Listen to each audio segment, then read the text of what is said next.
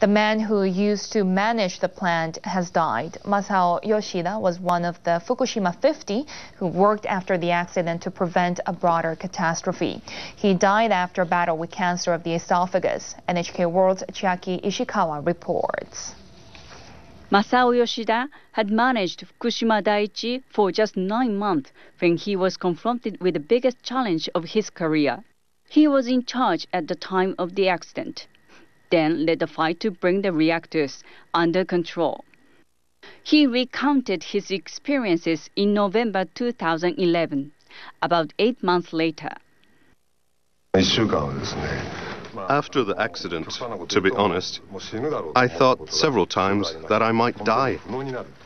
I felt the plant was out of control. So I thought, this is the end.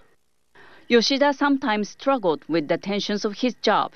Officials from Tokyo Electric Power Company released video of a conference call that took place three days after the accident.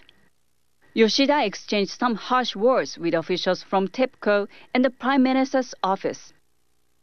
おい、吉田。ドライル0.74。はい。ドライルベントできるんだったらもうすぐやれ。早く。はい。 余計なこと考えるな。こっちで全部責任取るから。戻して。もうあのいろいろ聞かないでください。ドライルウェルベント今開ける操作してますんで、ディスターブしないでください。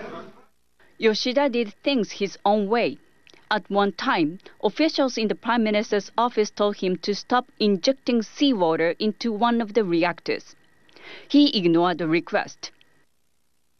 In late 2011, doctors diagnosed Yoshida with cancer of the esophagus. He left his post. Officials with TEPCO insist the cancer was not caused by exposure to radiation.